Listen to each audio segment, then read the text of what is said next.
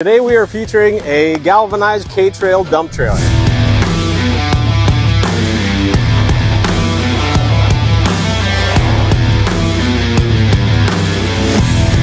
This trailer is also equipped with a spreading gate feature.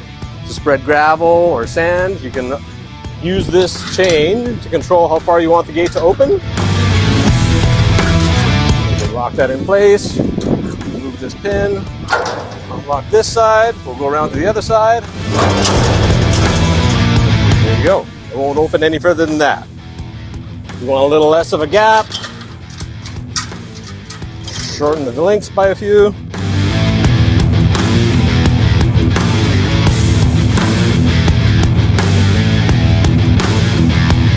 There you have it. Beautiful trailer, galvanized. It'll never rust on you. Indestructible. Follow us on Facebook and Instagram at PJ Canada.